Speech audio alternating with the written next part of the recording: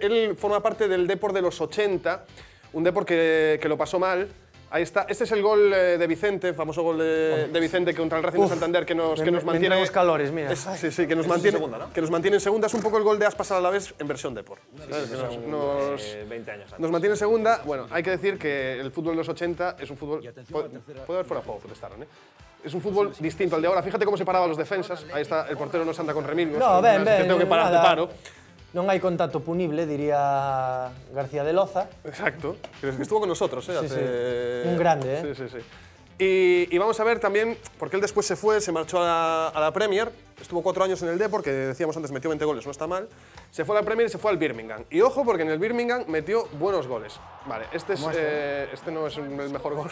Bueno, Pero tenía, tenía velocidad y disparo. Este es el, eh, el primero se fue a Bristol, ese era el derby de Bristol, y esto ya es en el Birmingham. Bonita camiseta, ¿eh? Preciosa. A mí estas camisetas así antiguas con muchas cosas me encantan, pero ojo al gol, eh.